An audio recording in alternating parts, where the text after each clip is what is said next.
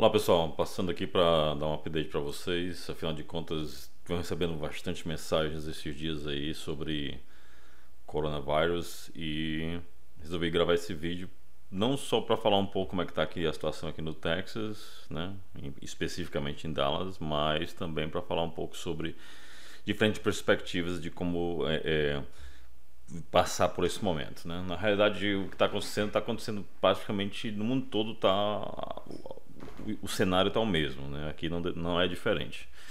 Aqui com, a, as prateleiras estão vazias. É, quando chega no meio do dia que você vai no supermercado já não tem mais nada, você tem que ir de manhã cedo para conseguir comprar as coisas. Supermercados grandes como Walmart, Sam's, Costco, todos eles estão tendo esse problema de abastecimento, né? É, o governador aqui do Texas, Greg Abbott, ele decretou já hoje, né, Hoje é quarta-feira, né? Que dia hoje? Quarta-feira, 19 de março, né? Decretou hoje é, fechamento de todas as academias, fechamentos de uh, bares, restaurante agora só fazendo entrega. Então tá, tá bem caótico assim mesmo, né? Um, uma, um, um cenário realmente que eu nunca tinha visto na minha vida. Do ponto de vista de trabalho, nada mudou para mim, porque eu venho trabalhando de casa já faz 10 anos que eu trabalho de casa. Então, nesse sentido, não teve nenhuma mudança para mim. Eu venho, continuo fazendo meu trabalho da mesma forma que faria. O que mudou foi que as viagens que eu tinha, eu tinha uma viagem para Redmond agora, foi cancelada.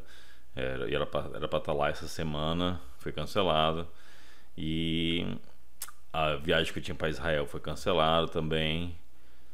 É, tem algumas viagens ainda agendadas para junho, né, para Amsterdã, Bélgica e Romênia. Né, são três palestras que eu tenho agendadas para eventos e não sei ainda o que vai acontecer. Eles não se manifestaram ainda. Mas o evento que, que por exemplo, tem um aqui em Dallas em maio, que é o, o Sam's Cloud Summit, já foi cancelado. Vai ser online agora, apesar de ser só em maio, mas já foi cancelado.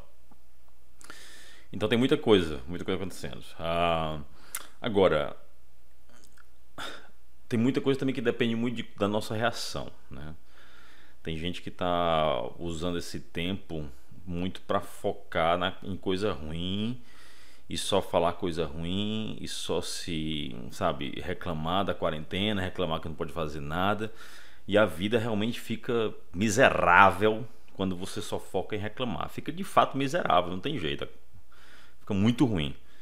Então é importante né, que você comece a, a, a focar em outras coisas, entendeu? A, a focar em o que, que, você pode fazer durante esse tempo. E uma das coisas que você pode fazer nesse tempo, cara, é estudar. Para quem trabalha na área de tecnologia, o que não falta é coisa para fazer. Né? Ou seja, estudar é uma coisa que você vai estar sempre fazendo. Então, por que não, né? Focar aí nessa quarentena em se preparar para uma prova de certificação ou estudar coisa nova. É, falando, ah, Yuri, mas eu tenho, tô trabalhando de casa, tenho um filho em casa. Eu falei assim, cara, então aproveita esse tempo, né? Aproveita esse tempo para fazer alguma coisa, cara, porque se você for focar só no ruim, você vai não vai conseguir durar não, cara. E essa situação, ela pode ser que ela demore meses para se estabilizar. Na realidade, hoje em dia, o meu medo maior não é nem tanto do vírus em si, para ser sincero, é do efeito econômico que isso vai ter. Porque nós estamos falando aí, pelo menos aqui nos Estados Unidos, estamos falando em meses para que a coisa volte ao normal. Ou seja, talvez a coisa só comece a voltar no normal durante o verão, né, aqui, julho, né, que é verão. Porque o próprio vírus ele começa a não ter tanta força de replicação durante o verão. A família corona de vírus elas não são tão é, favoráveis durante o verão. Então pode ser que a coisa melhore. Mas estamos falando o que? Nós estamos em março, abril, maio, junho. Você tem no mínimo uns, no mínimo uns dois meses ainda pela frente de, de aperreio. Então vamos pegar esses dois meses e focar em coisa positiva. Porque tem coisa na vida, cara, que não está no nosso controle. E se você se desesperar por essas coisas que não estão no teu controle, a vida vai ficar muito pior. Então, o que está no teu controle naquele momento, agora, por exemplo? É, agora o que é que tá no meu, meu momento para mim? Eu, como eu falei, meu, meu, meu dia a dia não mudou nada, porque eu já trabalho de casa. Então, trabalho eu sempre eu, eu tenho muita coisa para fazer.